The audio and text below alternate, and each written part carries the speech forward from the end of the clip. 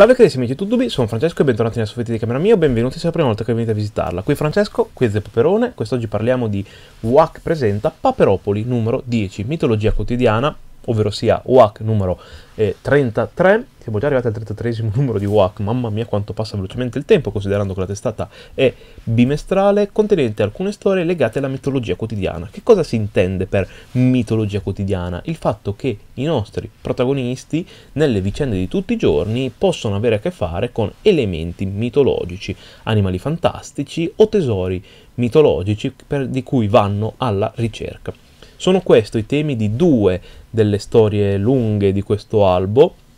a cui segue ovviamente la parte, eh, questa qui è la parte antologica dell'albo, mentre la parte cronologica continua la ristampa delle, delle um, Walt Disney Comics and Stories, delle team pages di Carl Barks.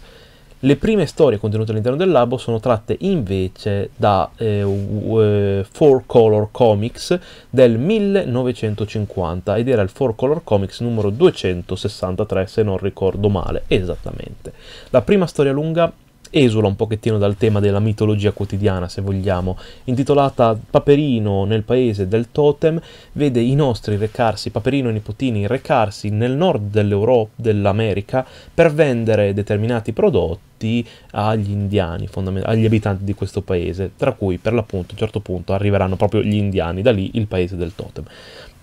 Che cosa succederà? Paperino deve vendere dei, degli organi a vapore, i nipotini dei cosmetici, arriveranno a eh, affrontarsi, confrontarsi con un paese di pelle rosse di indiani che non hanno la più pallida idea di che cosa sia un rossetto, uno smalto, un lucida labbra o un sapone, creando quindi un vero e proprio scontro generazionale di cultura che scade molto nel comico, nelle gag, nel no sense, se vogliamo, perché effettivamente ci sono tante cose che non tornano, però va benissimo così, piuttosto divertente.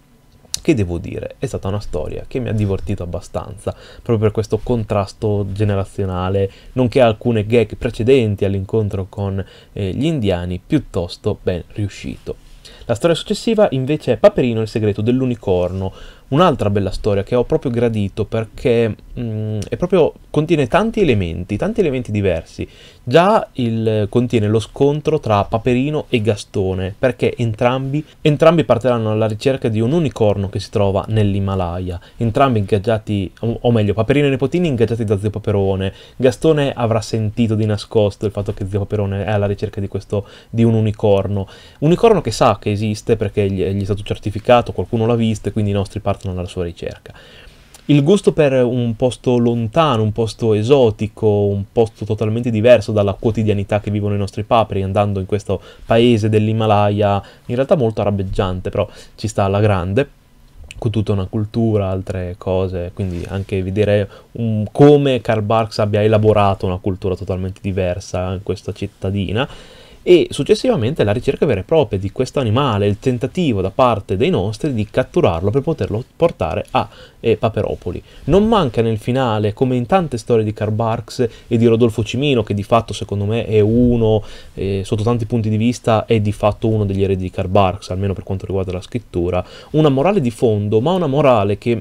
non è pesante, non è eh, detta esplicitamente e quindi è un diktat morale che devi assolutamente seguire per essere una brava persona, è qualcosa che rimane di sfondo, è un esempio morale che ti, che ti rimane secondo me sotto pelle, sotto traccia, ma che non è detto esplicito, oh, bisogna, per essere bravi bisogna fare i buoni. No, no, Karl Barks soprattutto non è, non è neanche di suo, non è neanche così buonista di base, quindi figuriamoci se si mettesse a dire queste cose qui in faccia alle persone. Quindi una storia che ha tanti elementi e che devo dire è stata veramente bella eh, leggerla per la prima volta perché non avevo mai avuto modo e occasione di leggerla e quindi questo WAC secondo me fa veramente bene il suo lavoro, quello di presentare alle nuove generazioni, a chi magari non ha mai avuto modo di leggerle, le storie di eh, Karl Barks. Sarà un'omnia, non sarà un'omnia, lo scopriremo semplicemente quando la testata finirà. E a me più, a me basta anche così fondamentalmente, perché ripeto,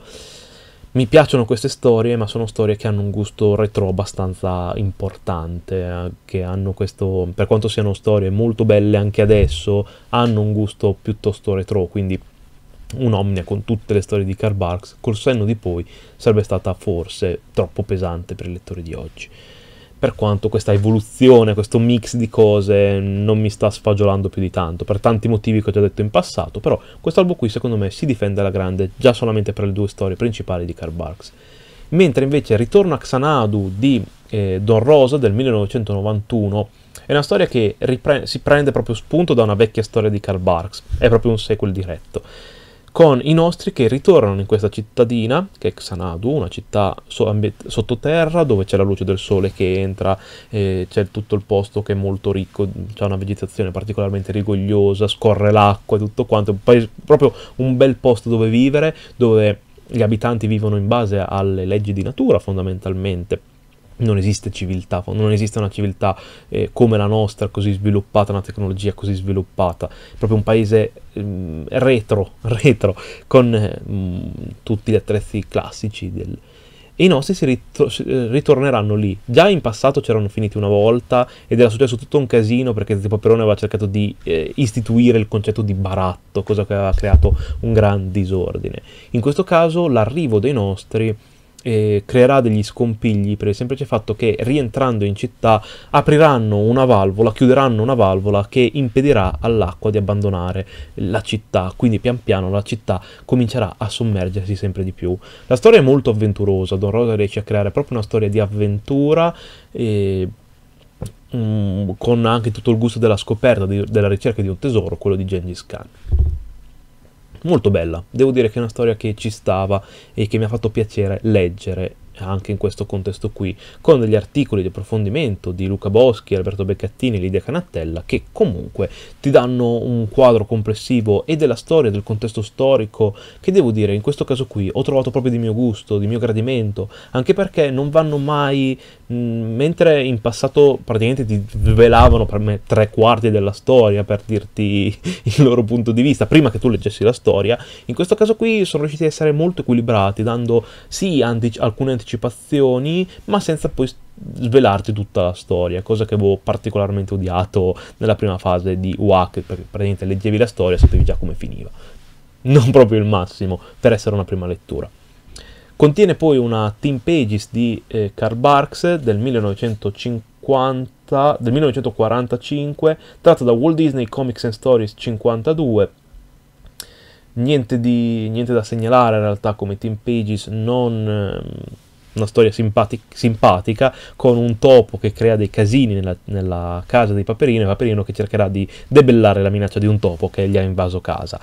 Un, vero e proprio corto animato di quelli che c'erano all'epoca, però fatto su uh, formato fumetto, molto divertente. Però è, è, un po' il problema delle team pages, secondo me. Sono molto divertenti, funzionano sotto quel punto di vista, ma ma, e qui sta la pecca del, della cosa, il problema fondamentale, e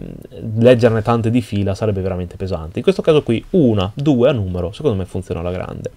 Discorso diverso invece per la storia di Lupetto che segue eh, nell'albo, tratto dallo stesso Walt Disney Comics and Stories ma non scritto da Karl Barks, e la differenza è evidente. L'esordio di questo personaggio, il figlio di Ezechiele Lupo, un lupetto, un piccolo lupo che non vuole cacciare, non vuole mangiare gli animali perché gli vuole bene, è loro amico fondamentalmente, mangia verdure,